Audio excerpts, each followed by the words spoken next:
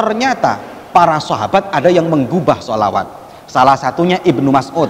Panjang ini teksnya. Bisa dilihat dalam kitab-kitabnya para ulama Ibnu Mas'ud itu mengarang sholawat sendiri. Andekan sholawat karangan itu tidak boleh tentu Ibnu Mas'ud tidak mengarang. Nasirus Sunnah Imam Syafi'i. Ah siapa yang nggak kenal Imam Syafi'i? Madhab mayoritas di Indonesia. Imam Syafi'i itu ngarang sholawat sendiri menggubah sholawat sendiri karena memang tidak ada larangan orang membuat sholawat.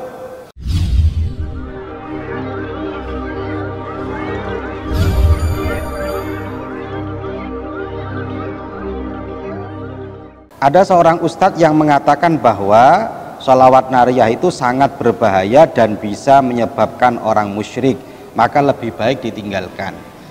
Nah ini memang sholawat nariyah ini dari kemarin-kemarin itu memang ada yang menggugat, ada yang tidak setuju dengan sholawat nariyah. Oke saya jawab, sholawat nariyah ini sholawat yang biasa diamalkan oleh kita ya di pesantren ini mengamalkan.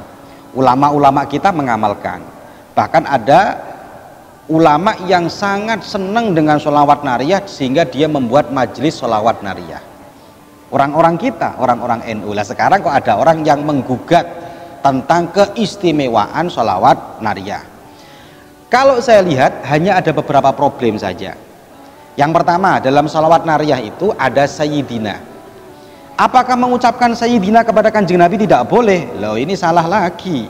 Sudah sering kita bahas mengucapkan Sayyidina kepada kanjeng Nabi Muhammad Shallallahu Alaihi Wasallam itu ulama semuanya memperbolehkan semuanya mengamalkan bahkan sahabat Ibnu Umar itu pernah melakukan sholawat membaca sholawat dengan ada kata sayyidinanya. Yang jadi masalah itu yang berbeda itu ulama kalau di dalam sholat. Kalau di luar sholat ulama sepakat memperbolehkan membaca sholawat yang ada sayyidinanya. Kalau di dalam sholawat kalau dalam sholat memang ada ada yang memperbolehkan ada yang tidak.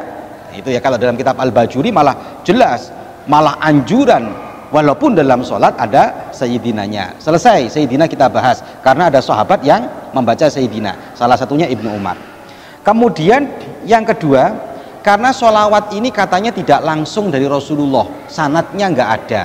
Sebentar kita teliti. Wajibkah orang itu dalam sholawat harus ada sholawat yang langsung dari kanjeng Nabi? Apakah harus sholawat yang langsung dari kanjeng Nabi? Sementara Al-Quran kalau kita melihat dalam Al-Quran bunyinya ya ayyuhalladzina amanu sallu. Wahai orang-orang yang beriman sallu bersolawatlah. Sehingga para ulama karena perintahnya di sini umum maka sholawat itu tidak dibatasi harus sholawat Ibrahimiyah yang diajarkan oleh kanjeng Nabi. Karena sholawat yang diajarkan kanjeng Nabi hanya sholawat Ibrahimiyah. Kita buktikan ternyata para sahabat ada yang menggubah sholawat salah satunya Ibnu Mas'ud. Panjang ini teksnya. Bisa dilihat dalam kitab-kitabnya para ulama Ibnu Mas'ud itu mengarang sholawat sendiri. Andekan solawat karangan itu tidak boleh tentu Ibnu Mas'ud tidak mengarang. Nasirus Sunnah Imam Syafi'i. Ah siapa yang nggak kenal Imam Syafi'i? Madhab mayoritas di Indonesia. Imam Syafi'i itu ngarang solawat sendiri menggubah solawat sendiri karena memang tidak ada larangan orang membuat solawat contoh solawatnya Nasirus Sunnah Imam Syafi'i.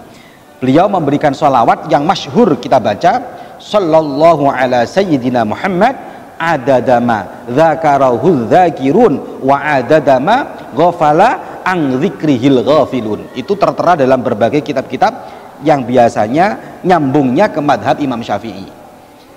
Ketika Imam Syafi'i menggubah sholawat seperti itu tidak ada ini orang yang menggugat sholawatnya Imam Syafi'i kalau memang alasannya karena tidak ada jalur yang jelas tidak dari kanjeng Nabi Muhammad Shallallahu Alaihi Wasallam Sementara sementara sholawat nariyah yang digandrungi oleh orang-orang NU malah digugat. Nah ini kan aneh. Ya ini memang karena ingin ingin gaya buat rame aja dengan kita kita yang Nahdlatul Ulama. Nah dua ya. Yang ketiga, yang terakhir. Ini yang paling fatal menurut mereka. Apa? Yaitu menurut mereka karena di situ ada sholawat itu mengandung tawassul mengandung doa tawasul lewat kanjeng Nabi Muhammad Shallallahu Alaihi Wasallam. Apakah doa tawasul itu nggak boleh? Nah ini kan kemarin tak bahas panjang itu kan.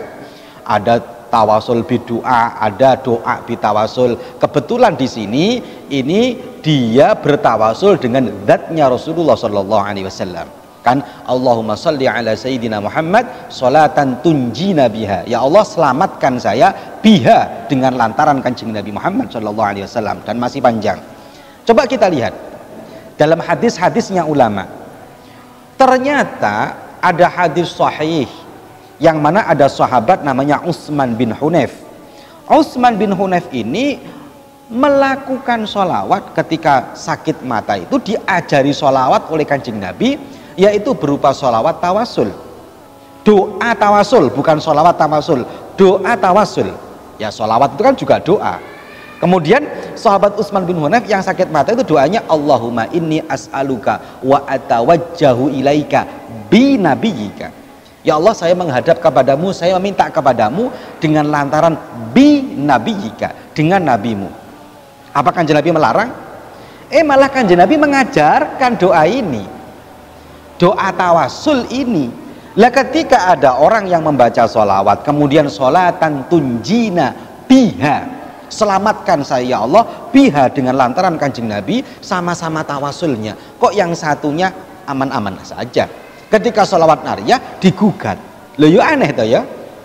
Kita ini kita ini makanya sering-sering baca bagaimana para ulama itu berdoa Ketika para ulama berdoa tawasul, bahkan kalangannya sahabat berdoa tawasul, kanjeng Nabi rela tidak ada masalah. Kenapa sekarang menjadi masalah? Salawat nariyah, salawatnya. Kemudian ada tawasul kepada kanjeng Nabi. Apa masalahnya? Kan tiga ini yang jadi masalah. Sayyidina selesai dibahas. Karena katanya salawat gubahan selesai dibahas ulama-ulama kita tawasul malah sahabat bertawasul di depan kanjeng Nabi Muhammad Shallallahu Alaihi Wasallam. Urusan nanti ada yang mengatakan oh, itu tawasul hid orang hidup dan orang mati. Lah ini kajiannya agak panjang. Karena memang para ulama-ulama kita juga memperbolehkan sholawat tawasul orang yang sudah meninggal apalagi pada para nabi yang mereka bal ahya inda rabbihim. Mereka para nabi beliau-beliau tidak meninggal tapi ahya hidup di sisi Allah Subhanahu wa taala. Jadi tidak perlu ragu lagi. Tidak perlu ragu lagi. Amalkan sholawat nariyah ini dengan baik, amalkan, pecahkan malahan, lakukan dengan baik karena inilah amaliyah-amaliyah ulama kita yang dalil-dalilnya tidak hanya kuat tapi sangat sangat kuat. Makanya kuat orang-orang yang melakukan sholawat nariyah sambungannya kepada Rasulullah Shallallahu Alaihi Wasallam. Ini sekilas tentang sholawat nariyah. Semoga kita besok berkumpul dengan Rasulullah. Amin. Allahumma